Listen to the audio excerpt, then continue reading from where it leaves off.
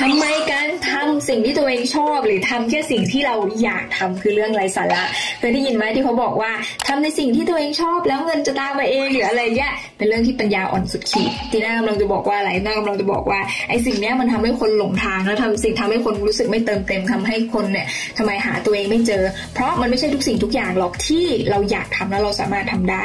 ยกตัวอย่างถ้าสมมติเราเป็นเบาหวาน ถ้าเราเป็น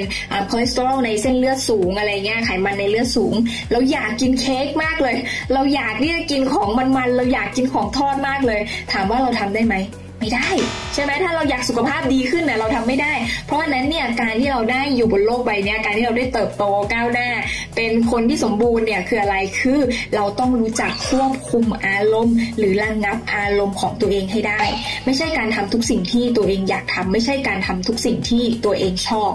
โอเคป่ะแล้วทีนี้เราจะรู้สึกเติมเต็มได้ยังไง เราจะรู้สึกเติมเต็มได้ก็ต่อเมื่ออะไรก็ต่อเมื่อเราใช้ความสามารถ หรือพรสวรรค์ที่เรามีอะบางสิ่งบางอย่างที่เราทำแล้วเราแบบโคตรง่ายเลยในขณะที่คนอื่นอะเขาทำไม่ได้ เราใช้พรสวรรค์ของเราตรงเนี้ยในการช่วยเหลือคนอื่นแล้วเราจะทำไม แล้วเราจะรู้สึกเติมเต็ม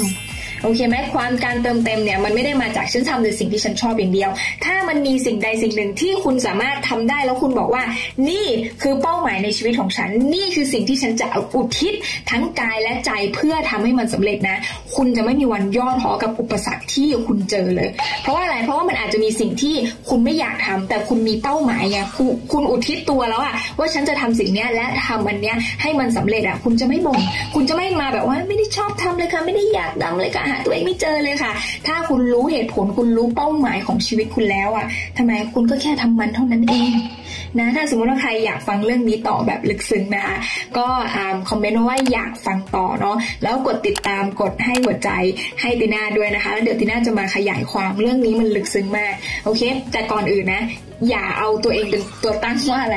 ก็ฉันชอบทำแบบนี้ฉันไม่ได้อยากทำแบบนี้หรืออะไรเงี้ยนะไม่ถ้าเป็นแบบนั้นนะเราจะไม่มีวันรู้สึกเติมเต็มในชีวิตได้เลย โอเคไหมฝากกดติดตามกดหัวใจให้ตีน่าด้วยค่ะ